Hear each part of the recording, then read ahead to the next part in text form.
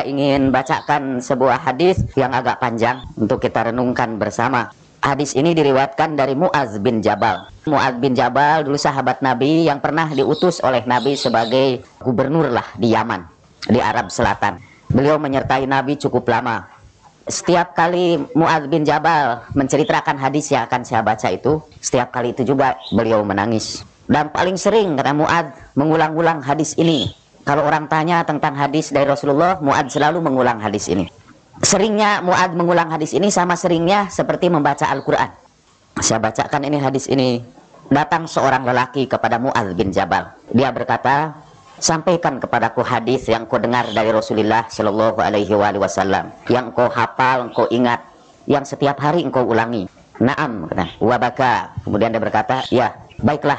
Kemudian Muad menangis. Lalu dia berkata, bi abi wa ummi hadatsani wa ana radifuh qala fabaina nasiru idh yarfa'u basarahu ila samai faqala alhamdulillahi alladhi yaqdi fi khalqihi ma'had hadis ini panjang saya tidak akan bacakan bahasa Arabnya nanti.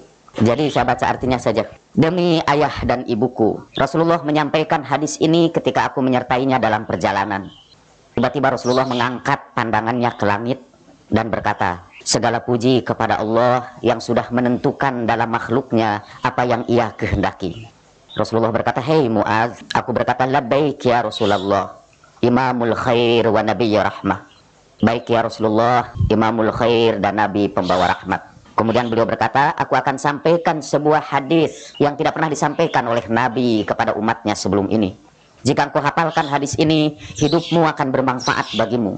Jika engkau mendengarnya saja, tapi engkau tidak memelihara hadis ini, akan putuslah hujah kamu di hadapan Allah nanti. Kemudian Rasulullah bersabda, sesungguhnya Allah menciptakan tujuh malaikat sebelum ia menciptakan tujuh langit ini. Dan Allah jadikan pada setiap langit seorang malaikat yang Allah agungkan dengan kebesarannya. Allah jadikan pada setiap pintu langit itu seorang malaikat penjaga pintu.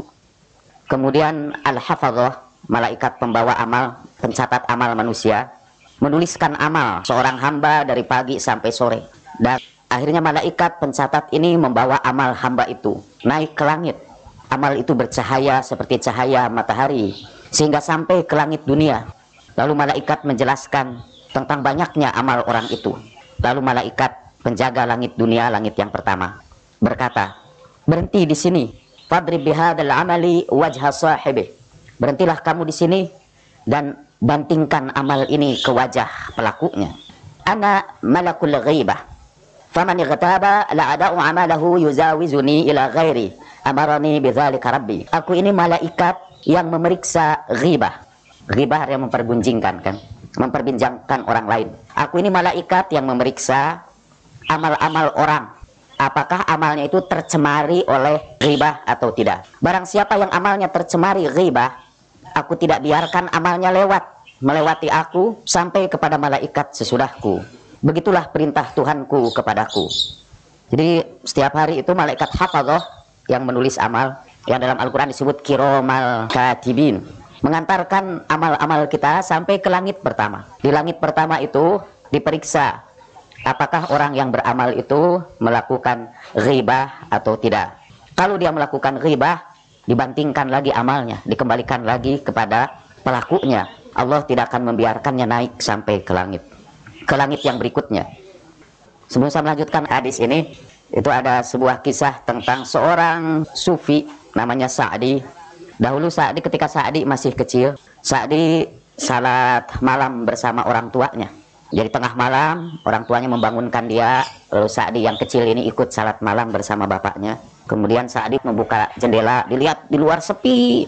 Kemudian dia berkata bapak Lihat ini orang-orang itu semuanya tidur lelap seperti bangkai. Padahal saat ini adalah saat ketika Allah memanggil mereka. Tapi mereka tidur lelap semua. Kata bapaknya, Sa'di kamu juga tidur lagi sajalah. Lebih baik kamu tidur daripada bangun dengan mengumpat orang lain. Dan kata Sa'di itu pelajaran yang sangat berharga yang dia peroleh dari bapaknya. Jadi untuk apa salat malam juga kalau mengumpat orang lain? Karena nanti ini amalnya salat malamnya hanya sampai ke langit yang pertama dan dikembalikan lagi karena sudah diantarkan dengan mengumpat orang lain. Kemudian berikutnya hafazah malaikat pembawa amal ini membawa amal soleh seseorang. dan sudah lewat langit yang pertama. Artinya dia sudah lulus, amalnya tidak diantarkan dengan riba. Sampai dia ke langit yang kedua, maka berkatalah yang menjaga pintu langit yang kedua. Berhenti kamu di sini dan bantingkan amal ini ke wajah pengelakunya. Karena orang itu beramal dengan mengharapkan dunia. Aku adalah malaikat sahibu dunia. Aku adalah malaikat yang memeriksa tujuan-tujuan duniawi dari amal itu.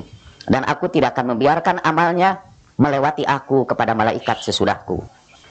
Ya, jadi yang kedua ini, langit yang kedua, itu malaikat yang menjaga apakah amal-amal kita dicampuri tujuan-tujuan duniawi. Misalnya karena mengharapkan balasan-balasan duniawi. Karena ingin duit misal, atau jabatan, atau kemashuran, ya, atau terkenal, supaya terkenal, masuk koran dan televisi misalnya. Kalau ada tujuan-tujuan duniawi, maka amal itu dikembalikan lagi. Tidak bisa melewati langit yang kedua. Kemudian Al-Hafazah naik lagi membawa amal seseorang yang dipenuhi dengan sodakoh dan sholat. Seorang itu banyak bersedekah, banyak melakukan salat. Sampai malaikat pembawa amal itu pun takjub melihat banyaknya sholat dan sodakoh dia. Sampai ke langit yang ketiga. Berkata malaikat pada langit yang ketiga, Berhenti kamu sampai di sini dan bantingkan amal orang ini ke wajah pemiliknya dan ke punggungnya. Ana malakus sahibil kibar. Aku adalah malaikat yang memeriksa takabur pada amal orang-orang. Innahu amila takabbaru fihi ala nasi fi majalisihim. Orang ini beramal, tapi kemudian dia menyombongkan amalnya di tengah-tengah manusia dalam majelis-majelis mereka. Dalam tempat-tempat pertemuan mereka dia banggakan amalnya. Amaroni Rabbi Allah ada amalahu yatajawazuni ila ghairi. Tuhanku memerintahkan agar aku tidak mengizinkan amalnya melewati aku sampai kepada malaikat sesudahku. Yang berikutnya Al-Hafazah, malaikat pembawa amal ini membawa amal seorang hamba yang gemerlapan seperti gemintang. Al-abdu yazharu kal kaukabiduri seperti bintang duri di langit. Orang ini adalah orang yang banyak bertasbih banyak melakukan saum, melakukan haji. Dawiyun bitasbih was saum wal haj. Jadi banyak bertasbih, banyak saum, banyak melakukan haji. Kemudian naik sampai ke malaikat langit yang keempat. Lalu berkata malaikat itu, berhenti di sini dan bantingkan amal orang ini ke wajah pemiliknya dan ke perutnya. Ana malakul ujub. Akulah malaikat ujub. Dia takjub dengan dirinya. Dia melakukan satu amal Kemudian dia takjub, dia kagum dengan amal-amalnya sendiri.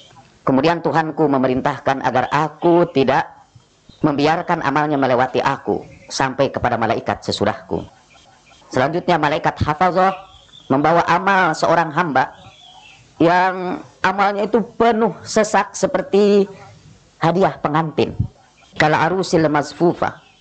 Amalnya itu dipenuhi dengan amal jihad, fisabilillah, berjuang di jalan Allah, dan sholat di antara dua sholat sholat baina sholatain misalnya antara maghrib dengan isya dia isi dengan sholat dan bersinar-sinar juga seperti cahaya matahari. Lalu malaikat berkata berhenti di sini. Ana malakul hasad. Aku adalah malaikat yang memeriksa rasa dengki. Bantingkanlah wajah orang amal ini ke wajah pemiliknya dan bebankan pada pundaknya. Innahu kana yahsudu ma yata'allam wa ya'malu lillahi bi ta'atih. Fa idza ra'a li ahadin fadlan fil amali wal ibadah hasadahu wa waqa'a fihi fayahmiluhu ala atiqihi wa yal'anuhu amaluhu orang ini sering iri hati kepada orang yang belajar dan mengamalkan ilmunya karena Allah dengan mentaatinya dia melihat ada seseorang yang punya kelebihan dalam amal dan ibadahnya timbul rasa dengkinya dan membebani pundaknya karena itu amalnya akan melaknat dia. Berikutnya Al-Hafazah itu di langit yang kelima dari ya. Sekarang keenam. Malaikat Hafazah naik lagi menemui malaikat langit yang keenam. Lalu yang keenam malaikat langit yang keenam berkata, jadi orang ini sudah lulus ini dari seluruh seluruh langit ini. Jadi dia tidak riba, dia tidak mengharapkan kepentingan dunia, tidak sombong, tidak ujub, ya tidak takabur, tidak iri hati, itu kan sudah luar biasa. Tapi sampai ke langit yang keenam dihentikan lagi oleh malaikat itu. Ana sahib rahmah idrib hadzal amali wajha sahibi wa atmis ainaihi lianna sahibahu lam yarham syai'a aku ini malaikat kasih sayang. Bantingkan amal orang ini ke wajah pemiliknya. Pukul kedua mata pelakunya. Karena orang yang beramal ini tidak memiliki rasa sayang kepada orang lain. Apabila orang lain mendapat musibah karena kesengsaraan dalam urusan dunia atau karena dosa yang berkaitan dengan akhirat, ia mencemooh orang yang mendapat musibah itu. Tuhanku memerintahkan aku supaya tidak membiarkan amalnya melewati aku sampai kepada selainku.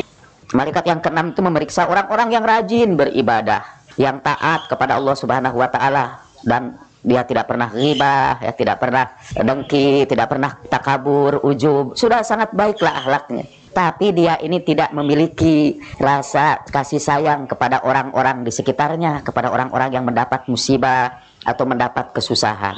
Kalau pakai istilah kalian sekarang, tidak ada solidaritas sosialnya, tidak ada keinginannya untuk membantu orang-orang lain. Nabi Shallallahu Alaihi Wasallam kan bersabda, tidak beriman kamu kalau kamu tidur kenyang sementara tetangga kamu kelaparan di samping kamu. Itu amal-amal yang begitu itu, amal yang seperti itu, itu dilemparkan dari langit yang keenam. Kemudian malaikat hafazah membawa lagi amal seorang hamba dan amal ini adalah amal seorang hamba yang mengerti agama, yang bersungguh-sungguh dalam ibadah, yang menjaga kesucian dirinya, wara. Ketika amal-amalnya dibawa ke langit, amalnya itu eh, lahu syautun qara'di wa dau'un qada'il barki. Amal-amalnya itu berkilat seperti kilatan halilintar dan gementar seperti suara guru. Kemudian karena dia sudah melewati langit yang keenam, seluruh malaikat dari seluruh langit yang pertama sampai langit yang keenam, ribuan malaikat mengantarkan amal itu. Karena amalnya luar biasa ini amal seorang yang berilmu, yang sungguh-sungguh ibadah dan yang menjaga kesucian dirinya yang warak. Kemudian diantarkan kepada malaikat yang ketujuh. Berhentilah di sini dan bantingkanlah amal orang ini kepada pelakunya ana malakul hijab ahjuba kulla amalin laysa lillah innahu arada rif'atan indal quwad wa dhikran fil majalis wa sautan fil madain. Amarani rabbi ala ada amalahu yujawizuni ila ghairi ma lam yakun khalisa. Aku adalah malaikat hijab malaikat tirai. Aku menghalangi setiap amal yang dilakukan tidak karena Allah.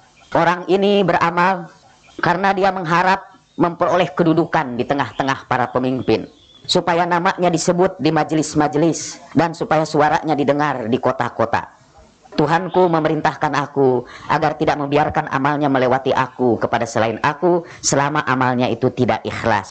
Kemudian naiklah hafaldoh sekarang membawa amal seorang hamba. Dan ini amal yang sudah luar biasa. Tujuh langit itu sudah lolos semua. Dan amal itu dipenuhi dengan akhlak yang baik min khuluqin hasanin wa samtin wa zikrin kathir akhlaknya orang itu baik dia banyak diamnya tapi lebih banyak zikirnya. Diam itu maksudnya tidak banyak omong lebih banyak berzikir. Malaikat seluruh langit yang tujuh itu seluruhnya mengantarkan amal ini.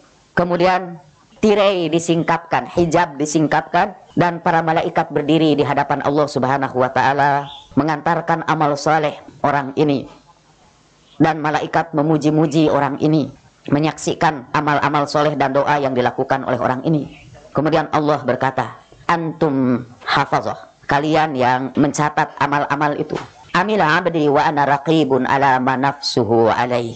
Hambaku ini beramal dan aku mengawasi jauh ke dalam lubuk hatinya. Yang tidak kamu bisa saksikan. Jadi para malaikat hanya mencatat apa yang mereka saksikan. Tapi malaikat tidak mengetahui apa yang ada jauh di dalam batin orang itu. Karena hati kita yang paling dalam adalah kerajaan Tuhan.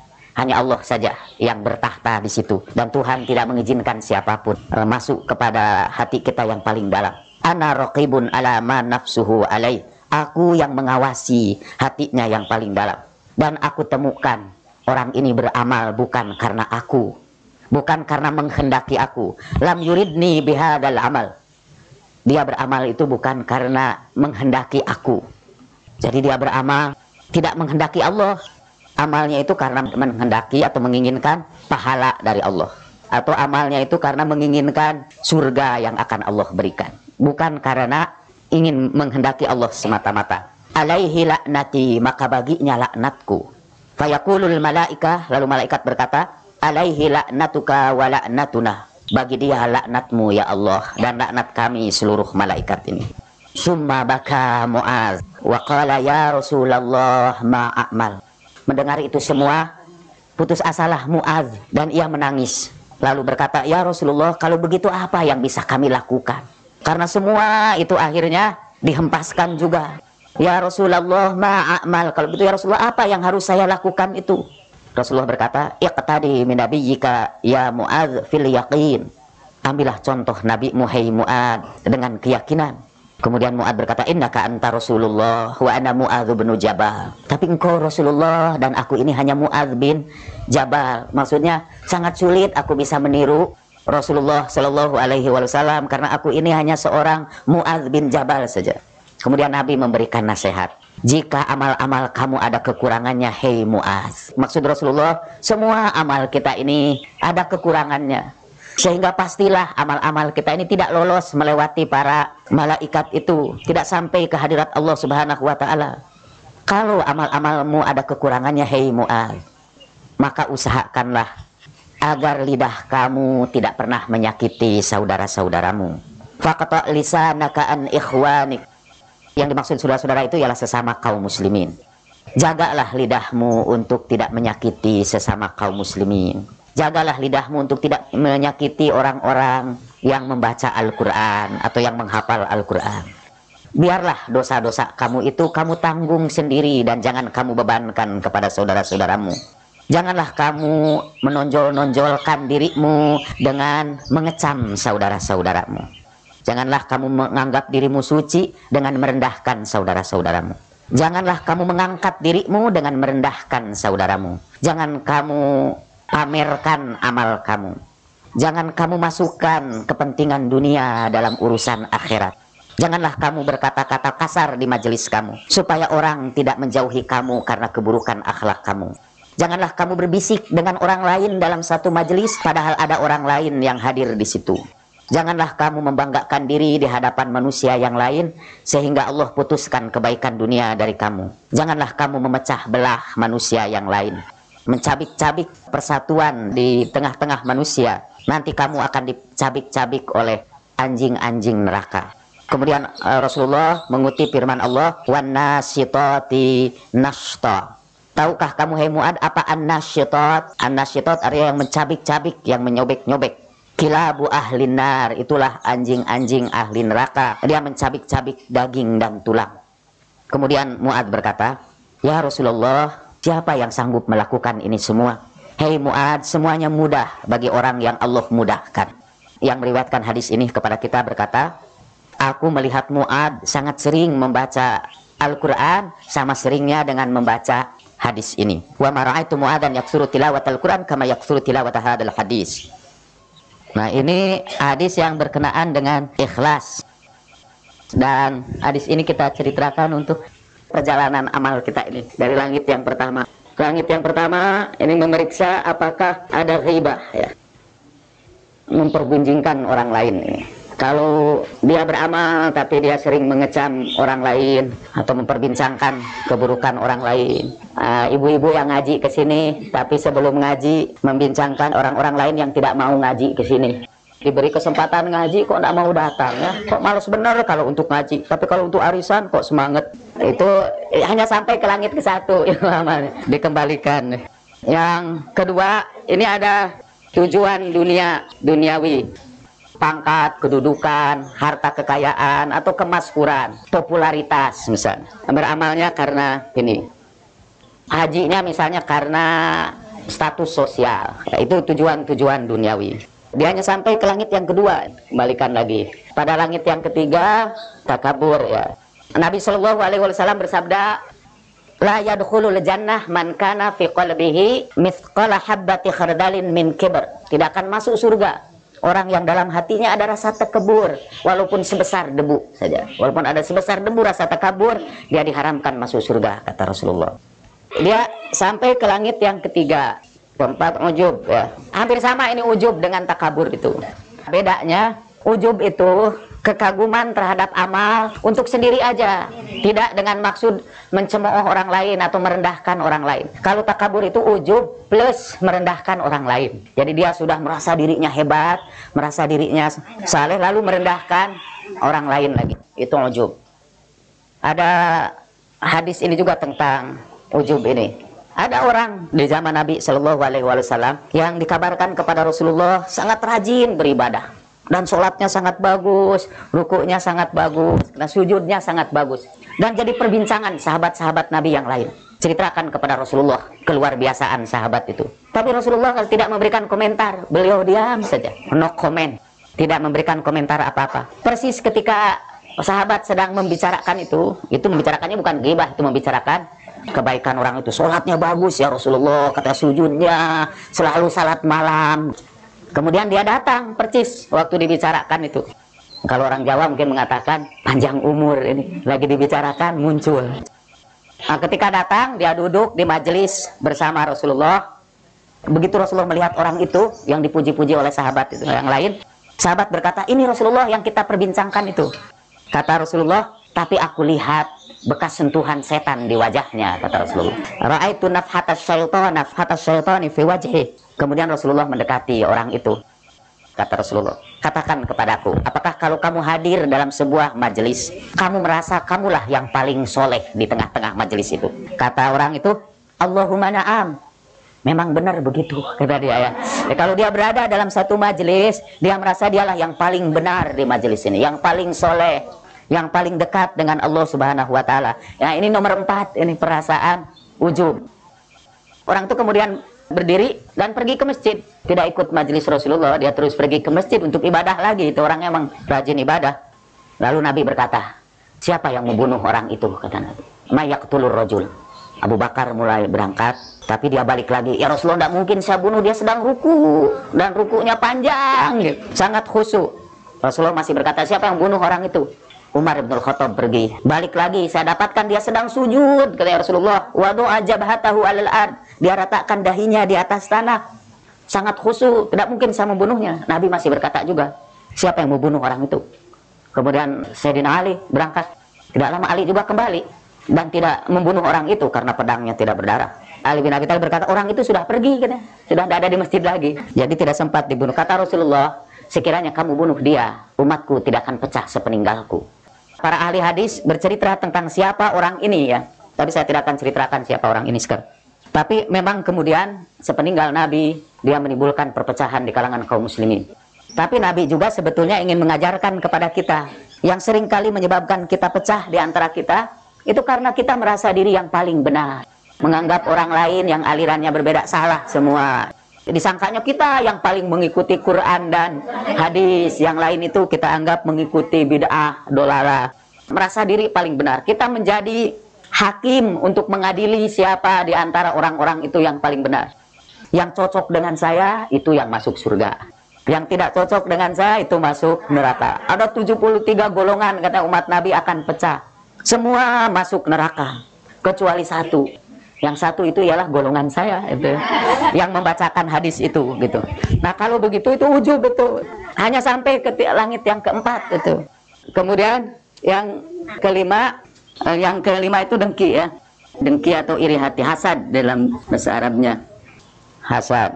Malahan Nabi memberikan contohnya ada orang-orang yang dengki melihat ada orang lebih baik dari dia iri hati melihat orang lain beruntung dia iri hati Nah, di antara ibu-ibu yang jujur berkata, tapi gimana ya itu sudah otomatis aja katanya.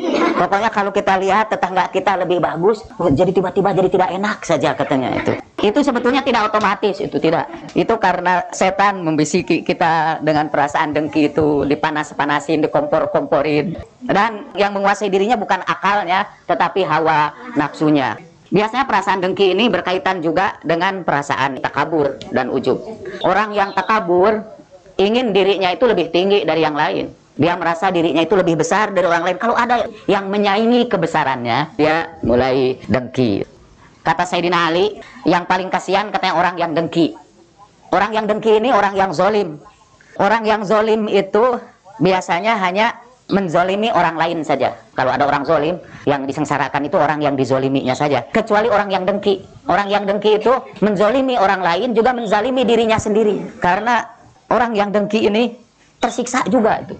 Orang lain tersiksa karena kedengkiannya. Dia juga alhamdulillah kebagian siksaan karena dirinya sendiri. Dia tidak tentram, ya dia gelisah, dia juga tidak enak. Kata Sayyidina Ali juga dengan kata-kata yang pendek, sihatul jasad min qillatil hasad.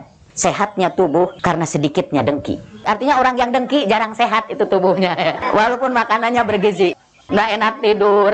Yang paling kasihan amalnya ditolakkan ini sampai ke langit yang kelima. Kemudian yang keenam, tidak ada kasih sayang. Jadi sekiranya ada orang yang baik ahlaknya, tidak pernah ribah, beramal ikhlas bukan karena tujuan duniawi, tidak takabur, tidak ujung, tidak juga dengki sama orang lain. Sayangnya dia tidak punya perhatian terhadap orang-orang di sekitarnya. Tidak merasa kasih sayang kepada orang-orang yang menderita musibah. Baik, kata Nabi, musibah dalam urusan dunia seperti misalnya tidak memiliki sembako atau musibah dalam urusan akhirat yaitu dia tenggelam dalam dosa. Orang tenggelam dalam dosa itu musibah besar. Orang yang terus menerus melakukan dosa itu yang dapat musibah. Kalau kita acuh tak acuh ya biarin aja lah. Agama dia untuk dia agamaku untuk aku. Lakum dinukum waliyadin. Yang salah diartikannya ya. Jadi membiarkan orang itu tenggelam dalam dosa tidak ada keinginan kita untuk membantu menyelamatkan dia paling tidak mengurangi dosa-dosanya itu juga tidak memiliki rasa kasih sayang. Sebetulnya malah yang harus disayangi itu ya. Satu saat para sahabat sedang berkumpul mengerumuni seseorang. Ada apa? kata Nabi. Ini ada orang gila ya Rasulullah. Jadi dari dulu orang gila itu sering jadi tontonan. Ini orang gila ya Rasulullah, kata Rasulullah. Tidak, dia bukan orang gila. Dia majnun kata mereka. Ini orang gila. Tidak, dia bukan majnun kata Rasulullah. Dia musob, dia orang yang sedang mendapat musibah. Sedang sakit kata Nabi. Al majnun mayuqimu ala maksiyah kata Nabi. Orang gila yang sebenarnya kata Nabi ialah orang yang terus-menerus melakukan maksiat. Itu yang orang gila kata Nabi. Kalau itu orang yang sakit yang harus kita bantu, kita tolong, kita obati. Orang yang gila sebenarnya itu yang terus-menerus melakukan maksiat. Apalagi bangga lagi dengan maksiatnya. Biasanya ujub itu dengan toat. Ini ujub itu dengan maksiat. Itu double. Malaikat yang ketujuh malaikat hijab yang menutup amal-amal orang yang bukan karena Allah ya. Yang tidak ikhlas ya. Ini orang yang ingin kedudukan di tengah-tengah para pemimpin gitu kata Nabi. Dan yang terakhir ini kita sebut di dalam tasawuf ikhlas awam. Kalau sudah di hadapan Allah Subhanahu wa taala itu ada orang yang tidak ikhlas juga tapi ikhlas dalam pengertian yang khusus yaitu tidak karena Allah juga. Di dalam bahasa Arab itu ada yang disebut Lillahirabbil alamin. Lillah. Lillah ini bisa artinya ada tiga. Satu ini karena Allah, kedua untuk Allah. Dalam bahasa Arab, lam itu bisa berarti karena, untuk, untuk Allah, kepunyaan Allah. Nah, ikhlas yang pertama ini karena Allah itu ikhlas orang awam, ikhlas orang-orang biasa. Di dalam tasawuf kita bedakan ada tiga tingkat manusia itu tingkat awam, tingkat khawas, tingkat khawasul khawas. Ikhlas yang awam ialah beramal sesuatu itu karena Allah saja. Maksud karena Allah itu ialah karena Allah memerintahkannya. Dulu saya pernah memberikan contoh di sini. Ada kawan saya dosen psikologi di Unpad. Dulu tiap pagi dia kebetulan kerja di ruangan rektor. Setiap pagi kalau rektor itu datang, dia ucapkan selamat pagi Selalu begitu. Padahal rektornya tidak pernah jawab gitu. Dia buat saja langsung masuk. Selalu selamat pagi. Lalu orang-orang tanya, kenapa kamu bilang aja selamat pagi dijawab pun kagak? Lalu dia berkata, saya mengucapkan selamat pagi itu bukan karena ingin dijawab oleh dia. Karena saya harus berlaku baik. Saya harus menyapa siapa saja. Bukan karena dia rektor katanya. Karena dia manusia saya harus menyapa dia. Apakah dia mau jawab atau tidak jawab. Tidak persoalan buat saya gitu ya. Atau di dalam Al-Quran disebutkan ciri ini kita misalnya membantu orang lain menolong orang lain. Tahu-tahu bukan tahu-tahu biasanya malah. Orang yang kita tolong itu tidak berterima kasih boro-boro berterima kasih. Kadang-kadang mengkhianati kita juga ya. Kadang-kadang orang yang kita tolong eh akhirnya marah-marah berlaku jelek kepada kita. Kalau kita kemudian berkata sudah saya tidak mau tolong lagi ini seperti menolong anjing kejepit. Yang ikhlas untuk tingkat awam ini akan berkata begini seperti dalam Al-Quran innama nut'imukum liwajhillah la nuridu minkum jazaa'a wala syukura. Kami memberi makan kalian itu karena Allah, tidak karena mengharapkan balasan atau terima kasih. Jadi walaupun tidak membalas, tidak mengucapkan terima kasih, tidak apa-apa, beramal terus juga dilakukan. Nah itu ikhlas. Yang pertama itu ikhlas yang sampai langit ketujuh. Dia bisa lewat itu langit yang ketujuh. Kalau dia beramalnya itu karena Allah memerintahkannya. Saya beri contoh lagi ikhlas. Yang biasalah kita ini. Misalnya hubungan suami istri itu. Kalau seorang istri itu berkhidmat kepada suaminya tanpa mempersoalkan berapa uang yang dibawanya ke rumah, dia berkhidmatnya itu karena betul-betul karena kecintaan saja, ada kenikmatan dalam berkhidmat kepada suami itu ya. Seperti itu juga orang-orang yang yang ikhlas yang kedua ini, yang untuk Allah. Ketika dia beribadah kepada Allah itu bukan karena memikirkan bahwa dia akan dapat surga atau dia memikirkan takut masuk neraka. Atau kalau dia bersedekah akan ada balasan ini ini.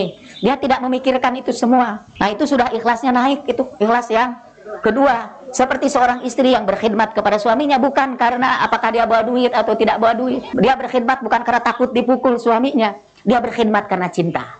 Karena kecintaannya kepada suaminya. Seperti itulah seorang hamba yang berkhidmat kepada Allah yang yang ikhlasnya sudah naik kepada nomor dua seperti pernah kita katakan seperti Rabi'ah al-Adawiyah Tuhan kalau aku menyembahmu karena takut akan nerakamu masukkan aku ke neraka dan besarkan tubuhku di neraka sehingga tidak ada lagi hambamu yang lain masuk ke situ kata Rabia kalau aku menyembahmu karena mengharapkan surga berikan surga itu kepada hamba-hambamu yang lain yang memerlukannya. Bagiku wajahmu cukup kata dia jangan palingkan wajahmu dari diriku itu tingkatnya sudah tinggi itu ikhlasnya ya. ikhlasnya Sampai kalau sudah sampai tingkat khawasul khawas itu, tingkat eh, tingkat khawas ini untuk Allah, dia tidak tidak berpikir untuk dirinya. Jadi kadang-kadang kita beribadah itu masih juga egois. Masih masih juga kita uh, berdoa itu, beribadah itu karena kepentingan diri kita juga ya. Supaya kita masuk surga, supaya kita tidak masuk neraka. Atau kalau kita bersedekah supaya ditolakkan bencana dari kita. Ya supaya rezeki kita dapat berkah, supaya orang-orang uh, selalu menolong kita. Jadi ada kepentingan-kepentingan pribadi, eh, ada yang diharapkan self interest, ada pamrih, itu, ada pamrih. Ya. Iya, tapi itu ikhlas juga itu ikhlas tingkat yang pertama ya. Karena kita mengapa kita beramal karena mengharapkan surga? Karena Allah sendiri berkata, Ber, berlomba-lombalah kamu kepada surga yang luasnya seluas langit dan bumi disediakan buat orang-orang yang takwa yaitu orang-orang yang menginfakkan hartanya dalam suka dan duka. Itu kan ada dalam Al-Quran. Jadi kalau kita ingin surga memang karena Allah juga mengiming-imingi uh, memberitahukan kepada kita bahwa kita akan memperoleh itu kalau kita bersedekah untuk menghindarkan bencana karena memang Nabi juga berkata begitu bersedekahlah kamu supaya Allah tolakkan bencana dari kamu. Jadi itu semua karena Allah juga, itu karena perintah Allah juga. Kalau kita ingin rezeki kita diberkati ya supaya di saat krisis moneter kita ini sekarang eh, kita tidak mengalami krisis. Kata dalam hadis sebutkan jika dagang kamu rugi, berdaganglah dengan Allah. Jadi itu kata Sayyidina Ali. Nah, kalau kita ini dagang kita rugi terus, ya sekarang kita berdagang dengan Allah Subhanahu wa taala. Berdagang dengan Allah ialah memberikan pinjaman kepada Allah dengan pinjaman yang baik kata Al-Qur'an. Ketika kita menolong orang lain itu sebetulnya kita memberikan pinjaman kepada Allah. Dan Allah adalah peminjam yang sangat setia membayar. Tidak seperti bankir-bankir yang eh, menjadi pasien ya. Itu Allah itu membayarnya malah berlipat ganda lebih tinggi bunganya daripada uh, sertifikat SBI ya lebih tinggi dari SBI ratusan kali lipat Tuhan itu membalasnya dan Allah balas di dunia ini juga ya. believe me ya. jadi kalau ibu-ibu berusaha ya, menginfakkan hartanya meminjamkan kepada Allah itu Tuhan eh, jamin insya Allah nah kalau kita beramal seperti itu itu ikhlas juga tapi ikhlas tahap yang pertama. Memang untuk sampai ke sini ini kita memerlukan latihan-latihan. Harus lewat dulu langit ketujuh itu. Uh, sampai itu baru kita bisa uh, memasuki ikhlas yang terakhir itu kalau sudah. Uh, um, Dulu kita belum tanya jawab ini ya. ya. Nah sebetulnya ketika kita berusaha membersihkan amal-amal kita dari berbagai ini nih, dari berbagai rintangan-rintangan ini, kita sebenarnya sedang mempelajari tasawuf. Jadi kalau ilmu fikih mengajarkan kepada kita cara-cara beramal, cara-cara bagaimana sholat, bagaimana saum, bagaimana haji, maka ilmu tasawuf mengajarkan kepada kita bagaimana kita membersihkan amal-amal kita supaya bisa lewat uh, malaikat dari seluruh langit itu. Bagaimana melatih diri kita supaya betul-betul ikhlas karena Allah. Itu kita pelajari di dalam uh, tasawuf. Dan memang sudah saatnya kita ini bukan hanya belajar fikih tapi juga belajar tasawuf. Bukan berarti kalau kita belajar tasawuf lalu fikih, fikih kita tinggalkan, tidak. Kata para ulama uh, fikih tanpa tasawuf kosong itu. Jadi fikih tanpa tasawuf kosong. Tapi tasawuf tanpa fikih sesat. Jadi kalau kita belajar tasawuf tanpa fikih, tanpa tuntunan Al-Quran dan Sunnah Rasulullah Shallallahu Alaihi Wasallam, kita sesat. Ya. Ada orang yang berusaha juga untuk naik ke langit, gitu ya, sampai melakukan mi'raj, tetapi tidak mengikuti syariat. Itu artinya dia belajar tasawuf tanpa fikih. Apalagi ketika ditanya pengetahuannya tentang fikih, ya ini saya dituntun langsung oleh malaikat Jibril. Jadi sudah tidak perlu lagi belajar fikih dan sebagainya ya. Tapi itu contoh saya tidak membicarakan siapa pun supaya tidak masuk ghibah. Nanti amal saya ditolakkan pada langit yang pertama. Jadi itu perkenalan pertama tentang apa sih yang disebut uh, tasawuf itu. Ini pertemuan kita yang pertama ini ya. Ini pengantar kepada ilmu tasawuf. Nanti kita belajar pengertian atau apa yang dimaksud dengan ilmu tasawuf. Pada pertemuan yang kedua, apa yang dimaksud dengan ilmu tasawuf. Kemudian yang ketiga, dasar-dasar ilmu tasawuf, ilmu tasawuf dalam Al-Qur'an. Yang keempat, dasar-dasar ilmu tasawuf dalam hadis. Sebetulnya mungkin yang kedua ini dua kali, yang ketiga dua kali, yang keempat dua kali. Yang ketujuhnya mungkin ulangan. Ya, dasar-dasar ilmu tasawuf dalam Al-Quran. Jadi kita akan sebutkan ayat-ayat Al-Quran. Dasar-dasar ilmu tasawuf dalam Al-Hadis. Itu kurikulum kita, insya Allah. Ibu silakan kalau ada pertanyaan mengenai pelajaran kita yang pertama. Assalamualaikum warahmatullahi wabarakatuh. Waalaikumsalam. Ustadz mengenai ikhlas ya, kalau kita beramal, apa kalau mau ikhlas itu tidak mengharapkan apa-apa selain untuk Allah ya. Tapi kenyataannya kita dalam doa-doa kita kan selalu mohon seperti dalam dalam sholat juga ada permohonan pada waktu duduk di antara dua sujud itu doa-doa yang diajarkan pada kita juga selalu memohon itu bagaimana Ustadz? Kalau kita memohon kepada Allah Subhanahu wa taala supaya Allah membantu kita, memberi kita rezeki yang halal, tubuh yang sehat, diberi panjang umur, itu berdoa itu sebuah amal. Doa itu sebuah amal. Dan kalau kita betul-betul memohon itu kepada Allah saja, itu sudah ikhlas itu. Kemudian dari mana kita tahu kita tidak ikhlas dalam berdoa itu? Bukan dari apa yang kita mohonkan Ya sebenarnya boleh mohon kepada Allah ya Allah beri saya rizki yang banyak, diberikan kesehatan, umur panjang. Boleh itu minta doa umur panjang. Istri saya paling senang doa minta umur panjang. Karena katanya dia tidak mau dia meninggalkan saya lebih duluan. Karena saya bilang saya sangat cinta sama kamu itu sampai lebih baik saya lah yang jadi duda ketimbang kamu yang jadi janda gitu. Nah, itu jadi dia takut benar jadi baca selalu doa panjang umur itu ada kiai ustadz yang menjelaskan tidak bisa katanya minta panjang umur itu karena Tuhan sudah menentukan usia kita. Betul tapi doa itu yang bisa mengubah takdir. Kan Tuhan yang menentukan. Kalau Tuhan menghendaki memenuhi doa kita diubah itu usia kita Allahumma mdudli fi umuri wa ausi alayya fi rizqi. Ya Allah panjangkan usiaku dan luaskan rezekiku. Di antara doa yang diajarkan Nabi Shallallahu alaihi wasallam adalah ya Allah jadikanlah rizkiku yang paling luas, yang paling banyak pada masa tuaku. Itu doa Rasulullah. Kita berharap kalau sekarang nih rezeki tidak seberapa, tapi hendaknya di masa tua itu rezeki kita justru yang paling banyak supaya kita hanya tinggal menikmatinya saja. Dalam kehidupan kan kita justru rezeki kita ini sempit setelah kita pensiun daripada usia kita yang terakhir. Jangan. Apakah itu tidak mengganggu keikhlasan? Tidak, karena Nabi juga menyuruh kita berdoa seperti itu.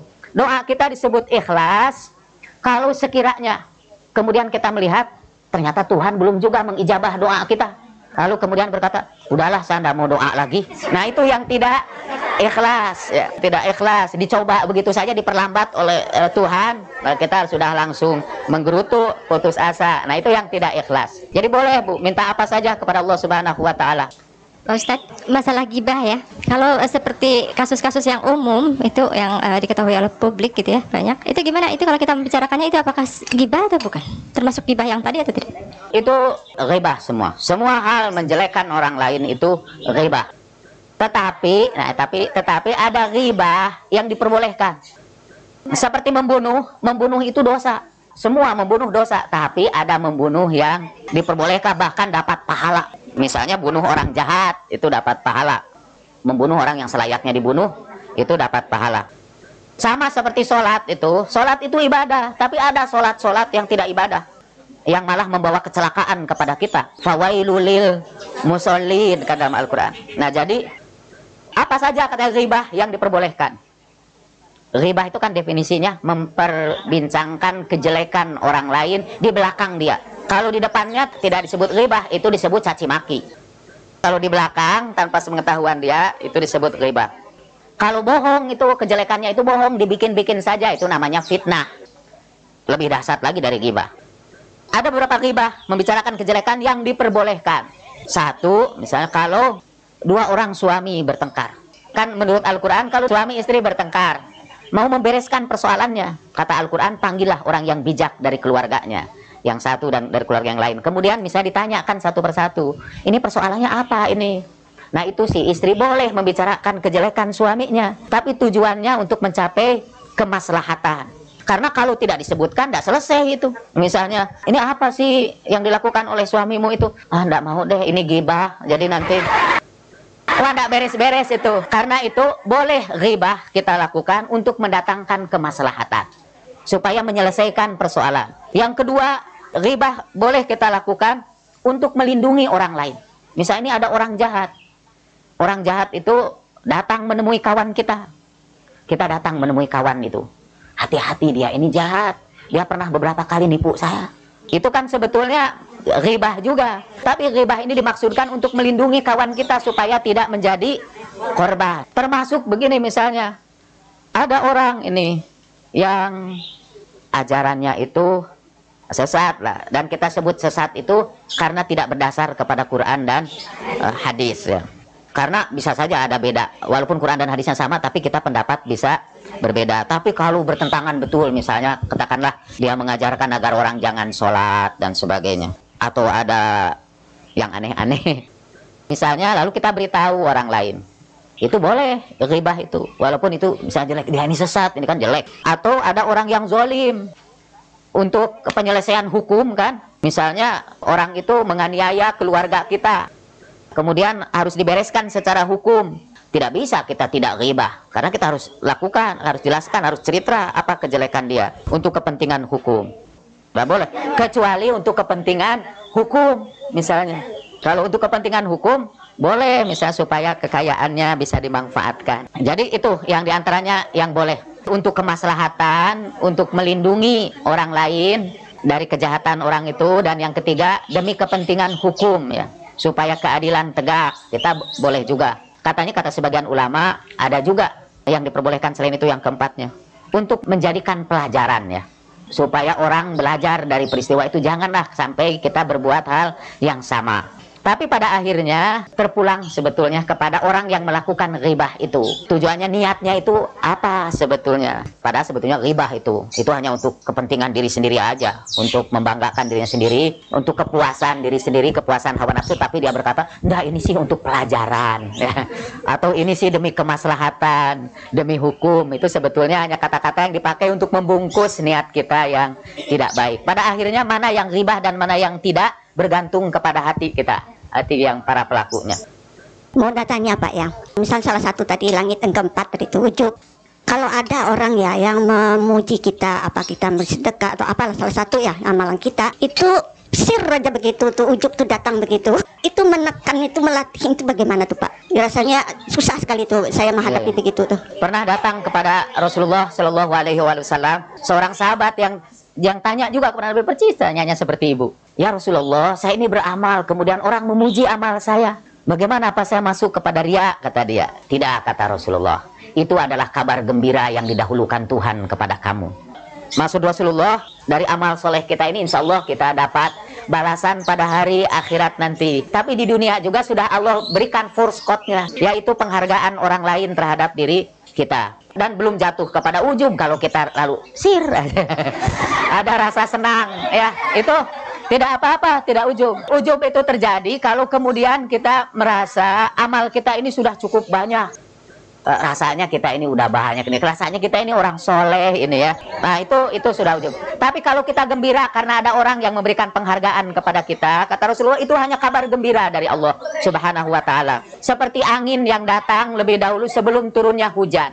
Angin itu kabar gembira bushro baina yadail matar ya kabar gembira sebelum hujan itu datang. Saya kira kalau tidak ada pertanyaan lain lagi, kita akhiri dengan berdoa mudah-mudahan Allah membantu kita untuk mensucikan diri kita, membersihkan amal-amal kita, membersihkan kalbu kita. Ala hadhihi niyyah wa kullu niyyatin salihah ila hadrati nabiyil mustafa Rasulullah sallallahu alaihi wa alihi wa ila al-a'immati tayyibin tahirin min atratihi. Al-Fatihah. Billahi minasyaitonir rajim. Bismillahirrahmanirrahim.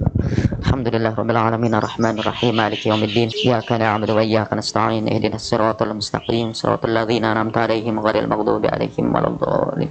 اللهم إنا نسألك بحق محمد وآل محمد أن تصلي على محمد وآل محمد. اللهم إنا نسألك أن تجعل النور في أبصارنا والبصيرة في ديننا واليقين في قلوبنا والإخلاص في أعمالنا والسعة في أرزاقنا والسلامة في أنفسنا وسعة في أرزاقنا وسكر لك أبدا ما أبقيتنا. سبحان ربك رب العزة عما يصفون وسلام على المرسلين والحمد لله رب العالمين.